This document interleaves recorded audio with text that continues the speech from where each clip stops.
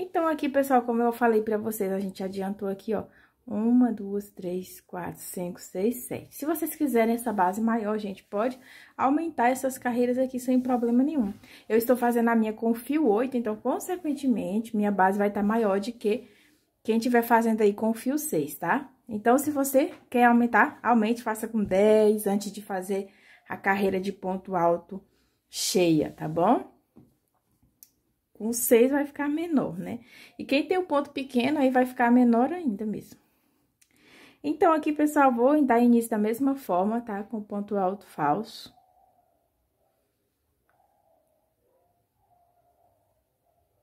Pera aí. Lá no céu,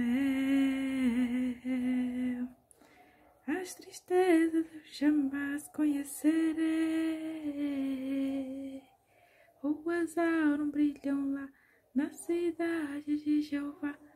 Sempre alegre vou marchando para o céu.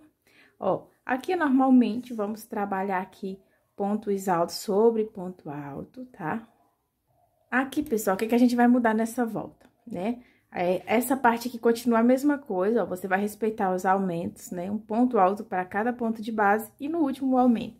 Aqui, ó, você só vai colocar dois pontos altos aqui dentro, ó. Porque essa carreira toda com ponto alto ela não tem mais essas correntinhas. Então, você vai, onde tem um espacinho, você vai preencher com ponto alto. Aí, começa de novo, fazendo ponto alto para cada ponto de base, tá? E em todos os espacinhos, você vai preencher também com pontos altos.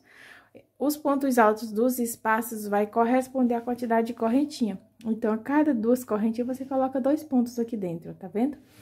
E aí, você respeita os aumentos também dessa parte aqui da curva, para que a sua base não feche, tá certo? Para sua basezinha não fechar e ficar bem bonitinha. Então, essa carreira é isso, tá bom? Essa carreira você vai colocar pontos altos em todos esses espaços. O restante da carreira é normal, tá? Essa parte do bloco.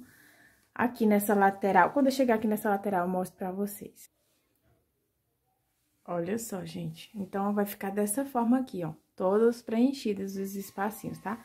E aqui na lateral, é só assim. Aonde tem correntinha, ó. Aonde tem a correntinha. Você vai colocar dois pontos, certo? Aonde tem ponto alto, você vai colocar ponto alto.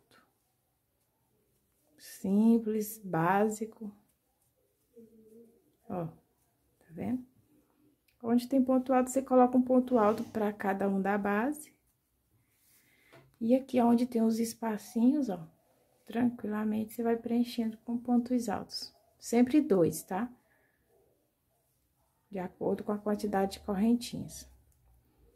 E aqui você vai fazer assim por toda a volta, ó. Vai completar tudo, tudo, tudo. Ficar com essa carreira toda com ponto alto fechado, tá bom? Eu vou adiantar a minha e volto com vocês.